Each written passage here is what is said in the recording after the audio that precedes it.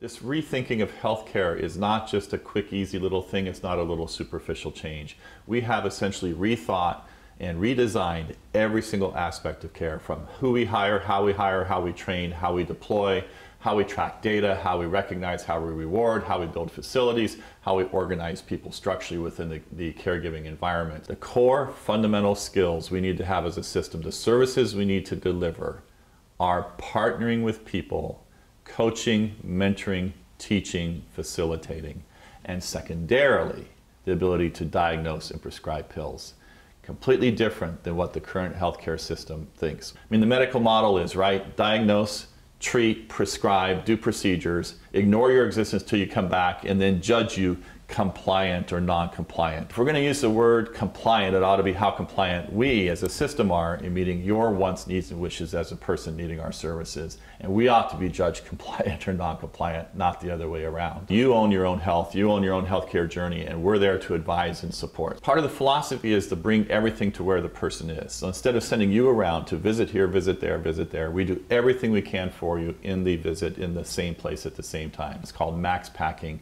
so that we don't create after visit for no good reason, but rather meet you on your terms. The facility design is extremely important. The thing the whole system uh, revolves around in our uh, design is the integrated care team space. So the most important part here is the idea for the primary care provider, case manager, case management support, CMA, uh, and then these other people, the behaviorist, dietitian, pharmacist, and midwife, to all be sitting immediately beside each other. Everyone gets about three feet of modular furniture space. They sit in bullpens. They literally practically touch elbows, but they're constantly talking to each other, overhearing what's going on with each other, and thinking and acting as a team. Doctors don't sit with other doctors. You sit with the team of people you do your work with. No nurses stations, no private offices, 40% of our clinical encounter spaces have been demedicalized, no exam table. You sit at the same level, you communicate around the electronic health record as sort of equals in communication with each other about your health journey. So the power differential has changed, the space has changed.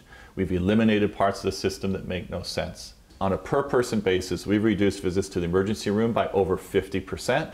We've reduced inpatient hospital days by over 40%. We reduced the number of visits to specialists by over 60%, while dramatically improving almost every health indicator you want to measure. Three quarters of our measures now put us in the top 10 to 25% of health organizations in the country. And this is in an urban Alaska Native population with many challenges, where we used to be sort of at the bottom of the heap. Our staff turnover has dropped to one fifth of where it was seven or eight years ago, and our satisfaction ratings for both staff and people getting services are very high. Many systems, including ours that have done this, show between 30 and 35 percent reduction in total cost per person per year through ER avoidance, hospital avoidance, reduced tests, reduced x-ray, reduced specialty visits, uh, all lead to dramatically lower costs, about 30-35% reduction. This has been repeatedly shown in multiple different places that have put in place really robust ability to partner with people over time, rebuilding that front end around what the customer wants and needs instead of what I as a professional want and need.